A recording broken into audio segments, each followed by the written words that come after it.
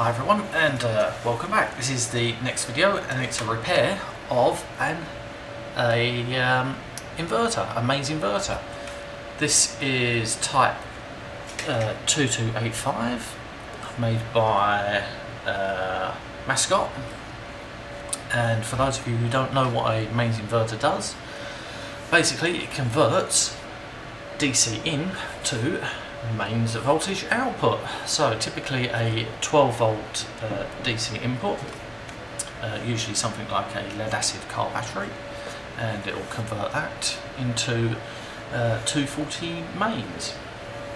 Uh, this particular one is uh, 300 watt. That means 300 watts. Um, 240 volt RMS, which is about uh, about 1.2 amps. And in order to produce that, it requires 12 volts at roughly around 300 watts again. So that's you know around the um, 30 amp mark, roughly. Yeah, roughly around 30 amp mark. Uh, I took a look at the data sheet for this.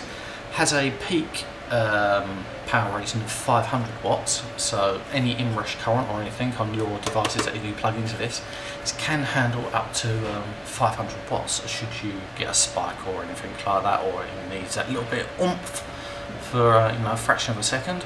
Perfectly fine. The only trouble is this one doesn't bloody well work hence the repair.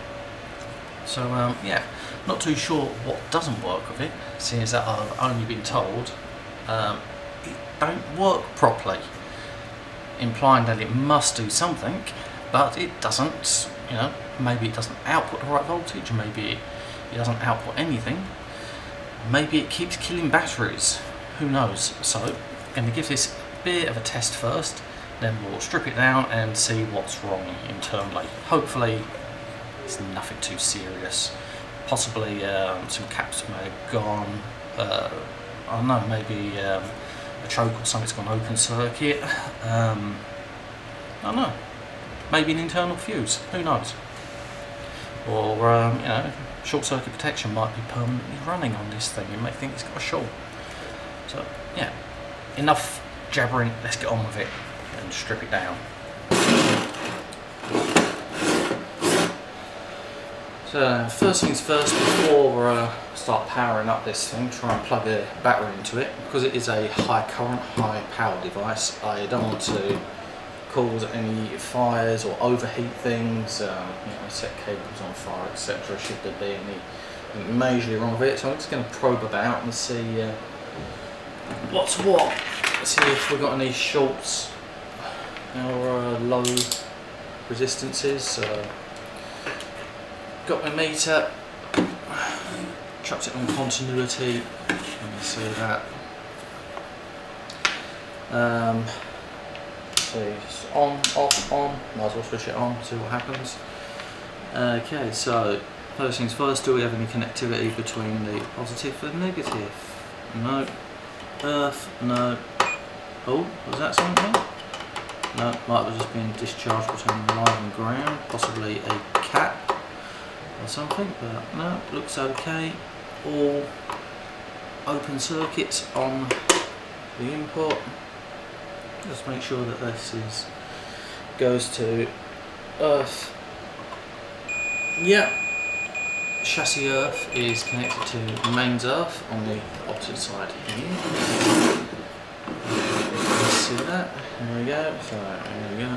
The mains is perfectly fine because uh, this is a keyed bot, uh, a keyed socket, you need to have a mains cable plugged in in order for the contacts to be open on the uh, live and neutral. So check on the supply side. So let's have a check on that. Make sure that there's no shorts on this side, on the supply side, which there isn't. Between earth neutral earth and live. Nothing nothing. So yeah all looks okay. No shorts or anything. Alright, what I'll do is I'll give this a power up. Got a uh, socket tester for 13 amp sockets this will go up to. Basically it just tells you whether or not you've got a earth full, phase and the uh, live and neutral been reversed, so we've got a neutral full, etc. A couple of neons in there just to show whether or not you've got any power. So I'm just going to plug that into the front, make sure it's all switched off, and uh, the battery to the rear. Now I've only got a um, small 12 volt lead acid on me. My big chunky car battery style one is completely shagged. Uh, this so I'm going to use this one. This is a 12 volt 7 amp hour battery. So you know, I get a couple of amps out of this one on the primary side, so milliamps coming out at the mains. Which side? What am I bloody talking about? Talking shit. And let's get this hooked up. Where have we got a screwdriver? need to get these uh, screwed into the rear terminals.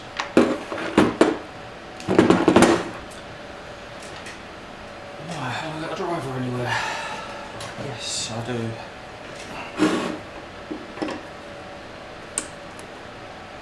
Ooh, that's not good. That's definitely why it's not working. I don't know if you can see this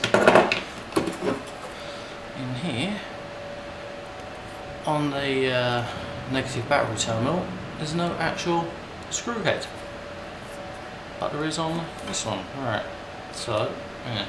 Have to get a uh, something in there. Hopefully I can just about grab hold of it with a flat head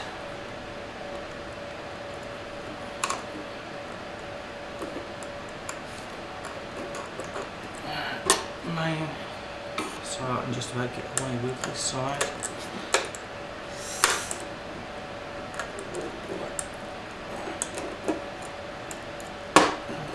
Doesn't want, oh yeah, I can just about get, no.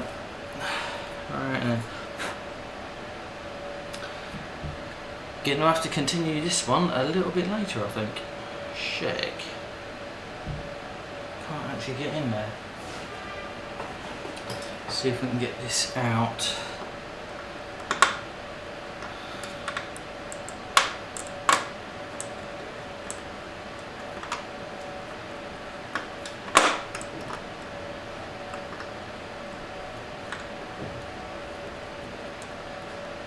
Yes I can. If I use a very small driver, I can just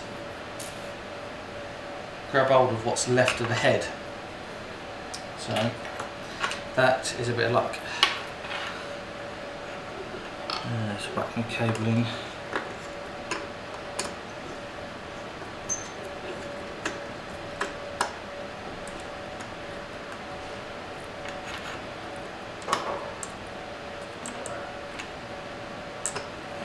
And that is reasonably secure.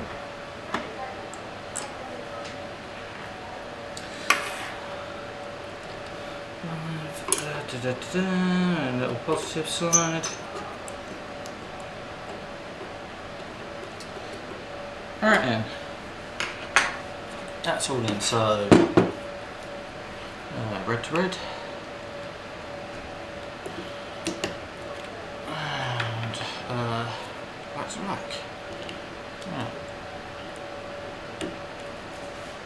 Any sign of life? Switch it on. No. Green is on. Orange amp normal. Well, we're not getting anything on the LED. So I very much doubt we'll get anything out. plug it in. And no, absolutely nothing. Dead. Nothing is getting hot. The cables aren't overheating. Switch just to volts. What's the voltage on the battery? We've got yeah 30 volts on the lead acid it hasn't even dropped down to 12 to say that we got you know it's not drawing any power as such so you know this thing is completely dead let's open it up and find out what's going on Alright then uh, a couple of screws at the rear Got some down the side, I imagine, holding the heat sinks in place. a few on this side. Let's see what we got. Move that battery out of the way.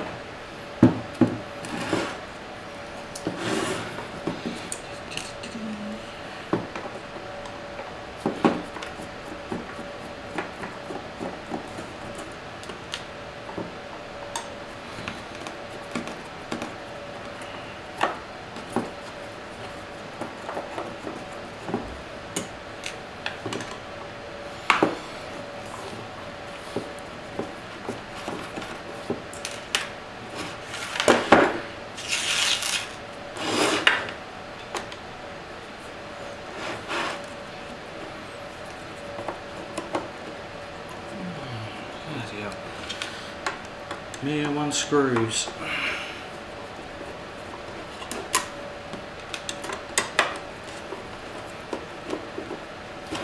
One going off camera. You'll tell me off for doing that, no doubt. I'm getting my hands in the way as usual. But this is a real repair, as always. No retakes. Right. A couple more at the bottom. Yeah, made in Taiwan. No surprise. Everything nowadays comes from the east. Not much is made in England anymore. Either the America or somewhere in China, Hong Kong, who knows, Taiwan, Korea. There we go. Out. Out. Slide it Yeah, luckily for us, you can see the circuit. Can you get that pulled out? Nope. Got heat sinks on either side of the terminal, if you can see those all screwed down here to this case, so we'll take all those out. So we can get in there. Looking over it at the moment, there's not really that much wrong. This is any scorching on the underside of the board, any arcing.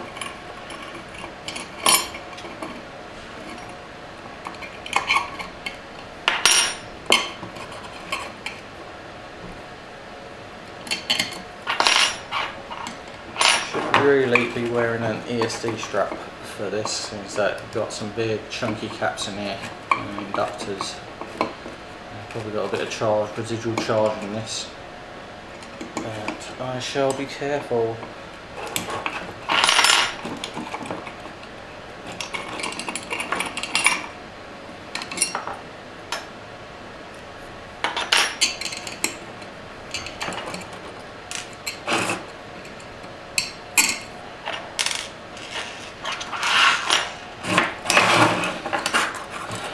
It's loose enough enough to shift, still to shift. And we've got bit of the opposite side.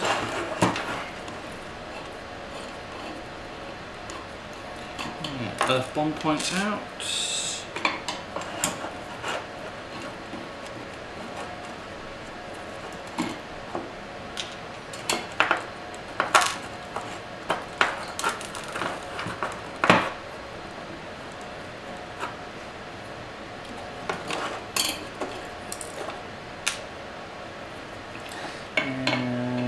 And another lot of heat sinks down this side.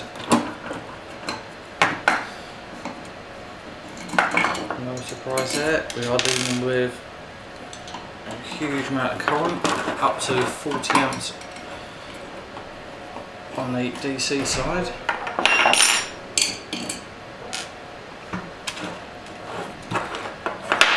Oh, bloody hell, got another one there. Would have gone to town with the old earth Oh, earthing of this?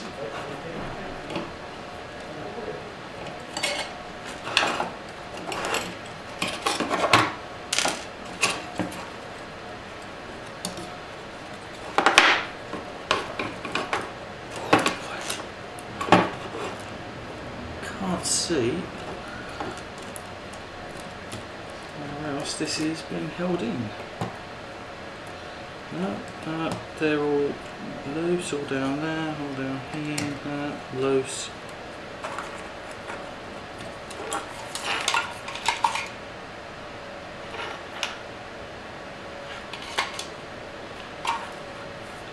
Nothing holding oh, it back. Up, there we go. A little bit of. And it slides out. And and we are in. So I've got transformer looks all okay. Caps fine, there's only one big chunky cap in there to worry about over here. That looks fine. Everything's hot snotted into place nicely. No signs of any scorching or burning on that side, anything on this side. Ew. I don't know if you can see that, but it needs a bloody big clean up on this side. So it's actually sat in some liquid at some point. It's probably uh, shorted out the board. I don't know if you can actually see that. Let's see if we can get in.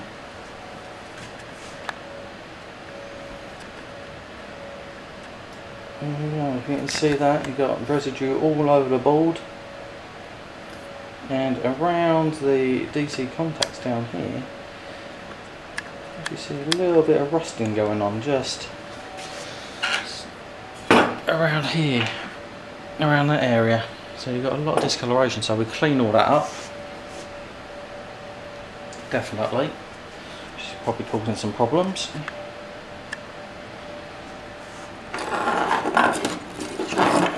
can't see much else on here. It's got a internal fuse, I just noticed. Over here.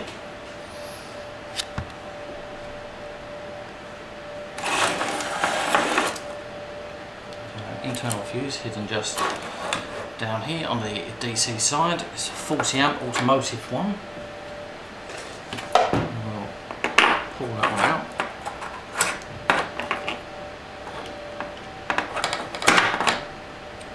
And yep, one culprit if you can see that. One dead fuse. Let's see if I can get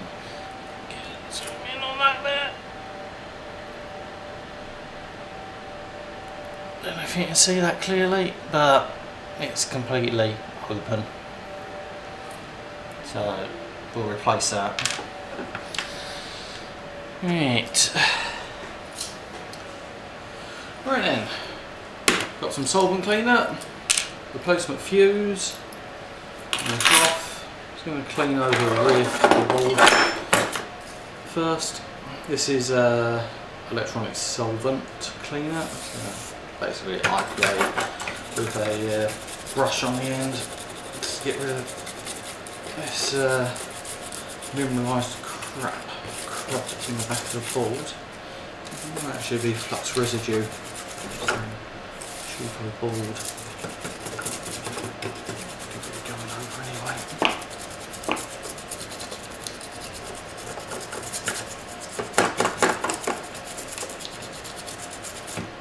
An area where it's.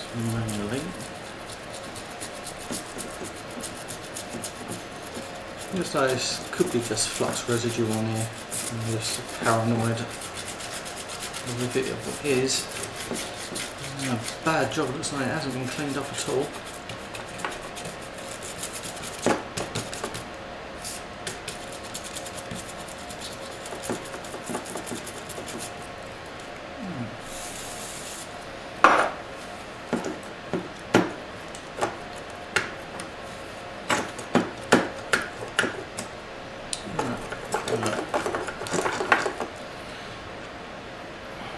That looks a hell of a lot better already.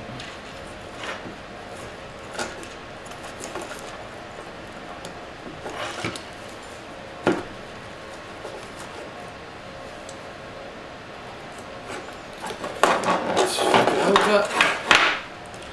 Get that Fuse in there. And you can see the difference. You can see it's got the loop in that one in the centre, whereas the dead one, absolutely nothing. You can see clear through that one. There you go. Combination. There we go. Haha. yeah, replacement one in.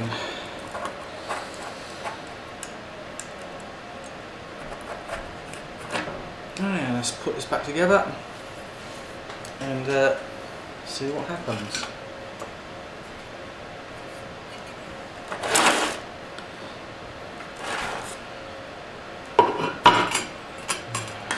Take off this mylar first. Slide in then we can slot the mylar back in place.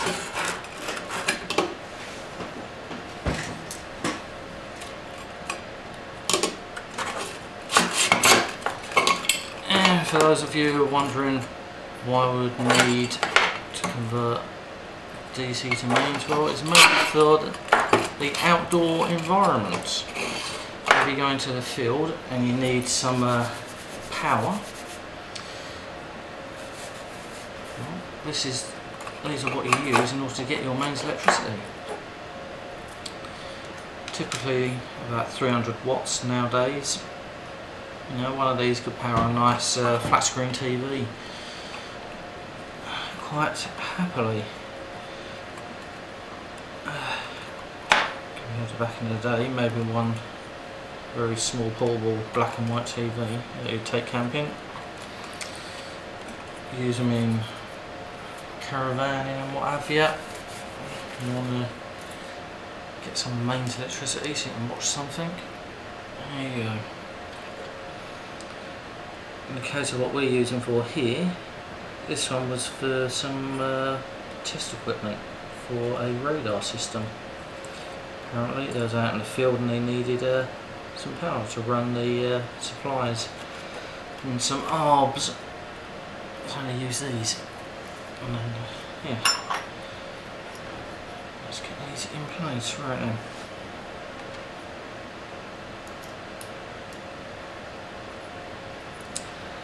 Goes on to here, I believe. I think they're the same.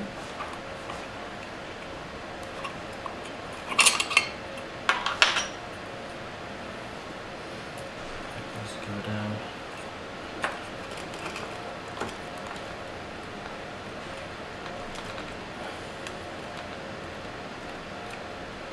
More like that, I believe.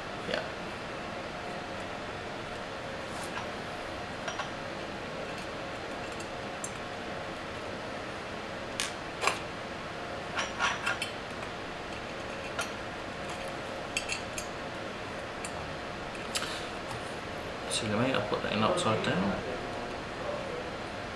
So it obscures the screw holes. But that, and then, and then I, I told him about.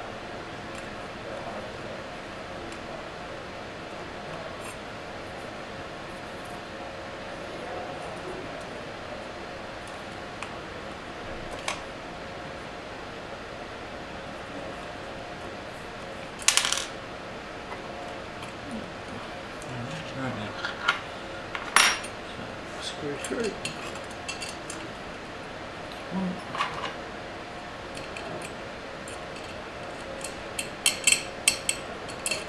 Two.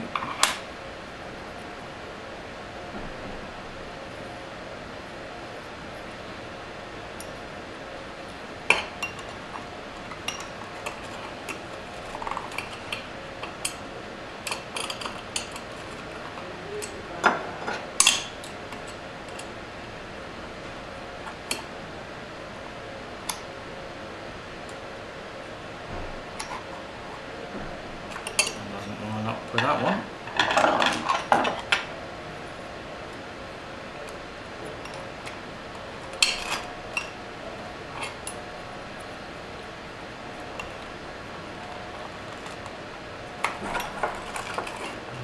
Push it down that little bit more. Yeah, that's better. Yeah, right. Oh boy, my back.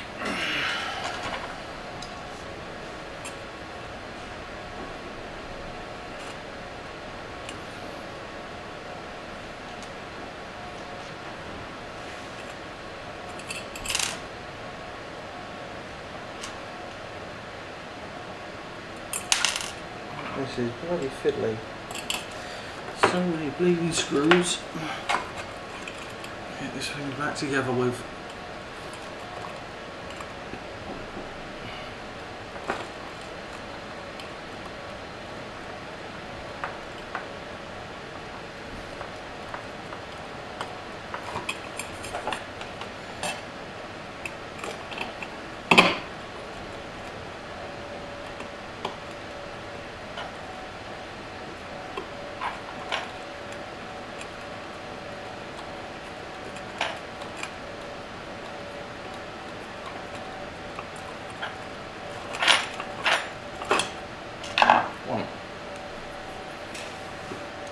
Down.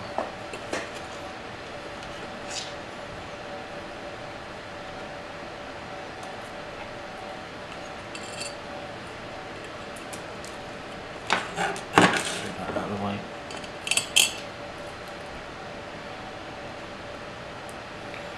One. One. Washer. Top of that.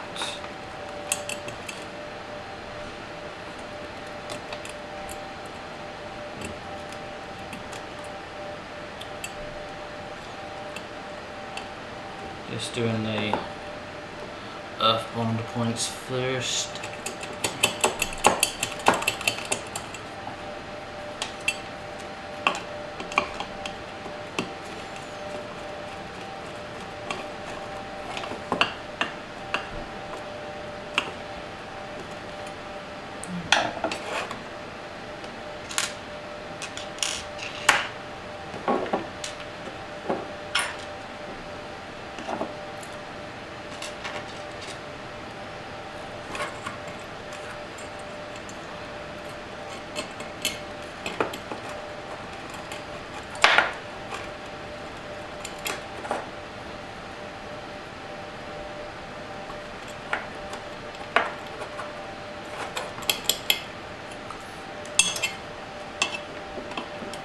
Have to say is, it's damn sight harder getting these back together than it is stripping them apart.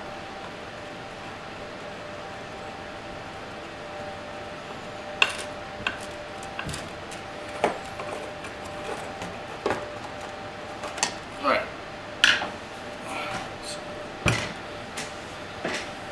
Uh, back in.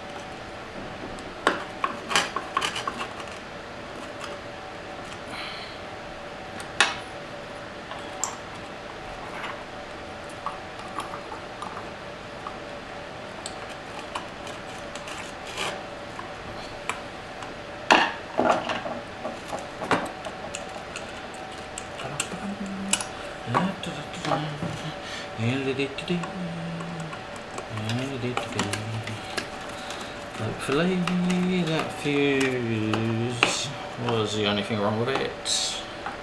And it worked first time. Oh boy, I don't relish taking this apart again. But whenever you're dealing with any main stuff, it's always good practice to make sure the case is always put together properly. Switch anything on.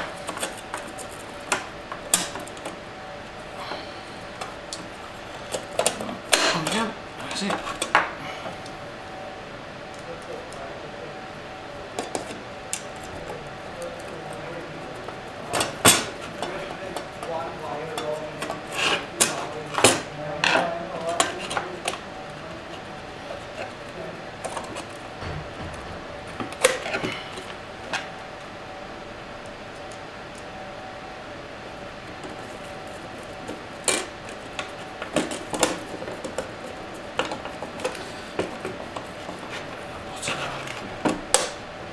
couple on the sides, and then we'll give it a gear, bit of a test. Just double check, and it works. And makes it nice to take all the case apart.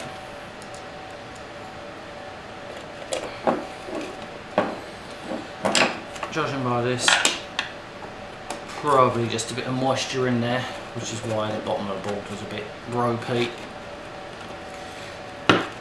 And hopefully just someone being an idiot and try and put too much of a load onto it, which is why it blew the fuse. I'm going to leave it like that for the moment. I'll just give it a test now. See what it does. So it's off at the moment. Plus to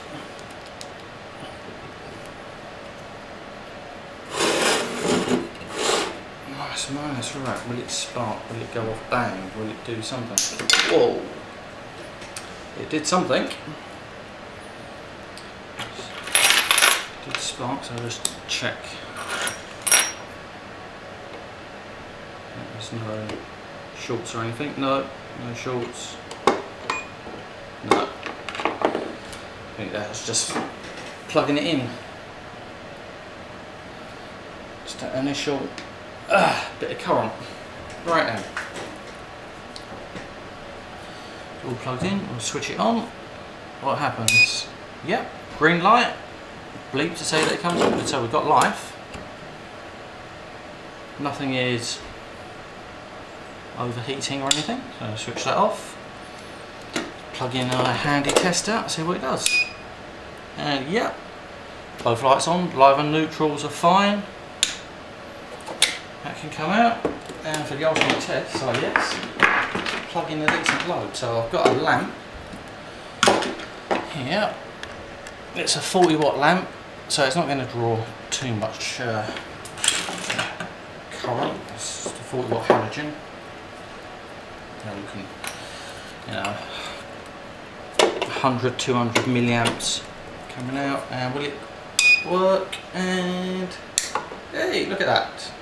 Yep, we've got power, seems to be okay. The overheating battery's okay. Seems pretty stable, yeah. Fan, yep, running okay in the uh, power supply. I'd say that is running reasonably okay. Now a quick check of the voltage. Should be around 12 volts on the uh, battery as opposed to 13 before. Let's have a, quick squeeze. Which, yeah, there we go. 12 volts roughly. Yeah, so yeah, drawing okay. No problems. Brilliant. I'll say thumbs up. That's a reasonably good test. Unfortunately, I don't have a big enough battery to test it at the full 300 watts, but yeah, I'll let uh, guys know that this is yeah, reasonably okay. So I'll tell you that's a reasonable thumbs up. Just a fuse have gone. Uh, yeah, probably just a matter of overrunning, overloading yeah. Screw the rest of it in, put the other screws in, and uh, send it on its way. If there's any problems with it, I'll no doubt it'll come back and I'll give you an update. If you don't see any more videos relating to this one, I'd say the job's a good one. Right, last few screws in.